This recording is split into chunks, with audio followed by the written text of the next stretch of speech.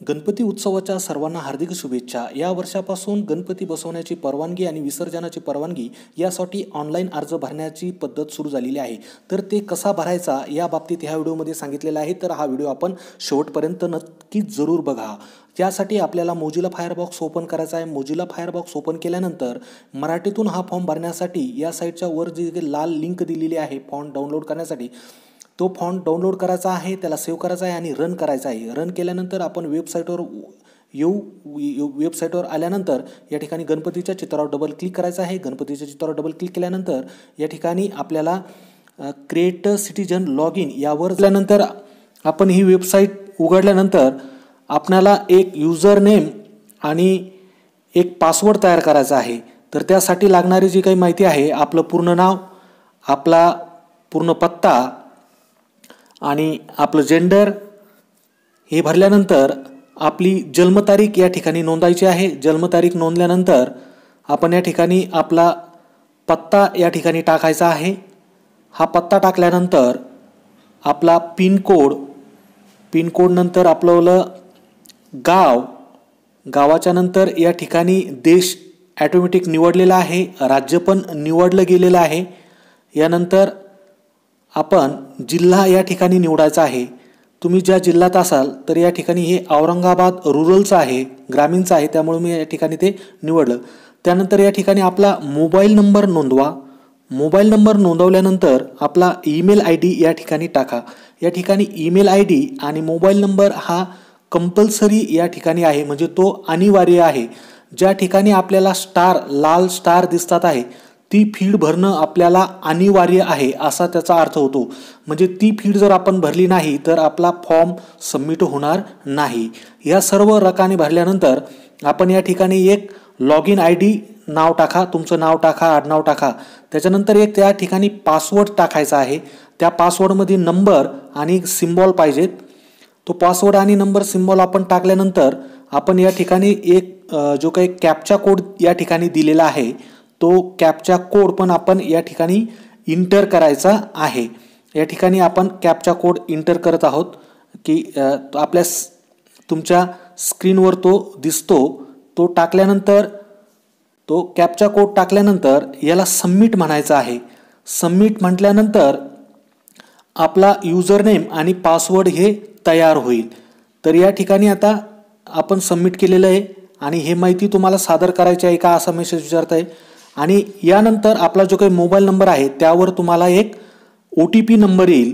तो O T P number आपण या ठिकाणी परत या बॉक्समध्ये टाकायचा आहे. या टाकल्यानंतर त्याला क्लिक करायचं आहे व्हॅलिडेटवर क्लिक करायचं आहे. व्हॅलिडेटवर की क्लिक केल्यानंतर आपल्याला ते सांगतं की आपलं तुमचंवालं युजर आय डी आणि पासवर्ड तयार झालेला आहे.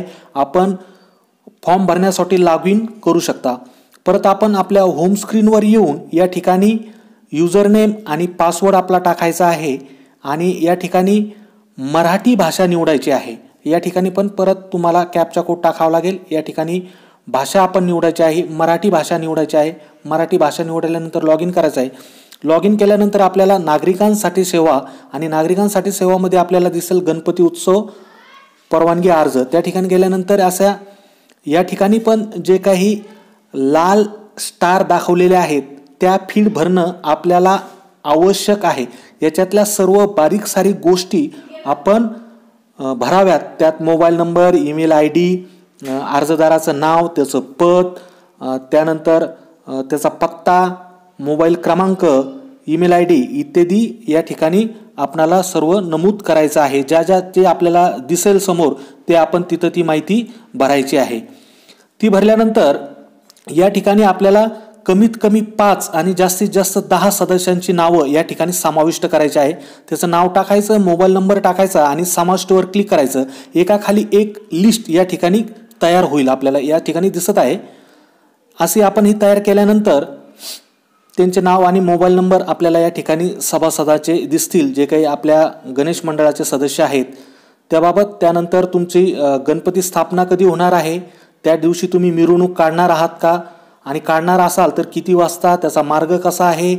त्याच्यानंतर तुम्ही त्या ठिकाणी मंडप कशा प्रकारचा टाकणार आहे? त्या मंडप मंडपवाल्याचं नाव आहे मूर्तीची हाईट उंची रुंदी या सगळ्या गोष्टी या ठिकाणी तुम्हाला फुटामध्ये नमूद करावं लागणार आहे. मूर्तिकाराचं नाव मंडपवाल्याचं नाव त्याचा मोबाईल नंबर या ठिकाणी सर्व माहिती तुम्हाला ॲक्युरेट भरावी लागणार आहे. ही सर्व माहिती या फॉर्ममध्ये आपल्याला वाचायचं आणि त्यासमोर ती माहिती भरायची. अगदी सोपंसं काम आहे आणि हे काम तुम्ही आपल्या मोबाईलवरून पण करू शकतात.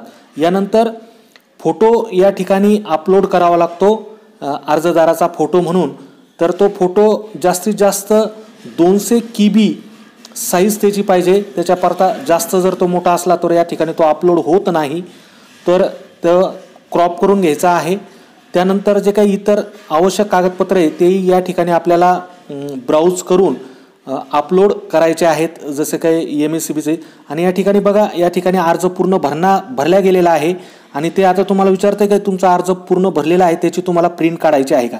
तर या ठिकाणी मी प्रिंटसाठी हे ऑप्शन हे या ठिकाणी दिलेलं आहे अर्ज पूर्ण भरलेला आहे. हा अर्ज घेऊन आपण पोलीस स्टेशनला जायचं आहे. त्यानंतर तुम्हाला त्या ठिकाणून परवानगी मिळेल. आता मी याची प्रिंट काढतोय. हे बघा या ठिकाणी प्रिंट निघालेली आहे. तर आपल्याला हा व्हिडिओ आवडला असेल तर त्याला लाईक शेअर जरूर करा आणि चॅनलला सबस्क्राईब करणं विसरू नका.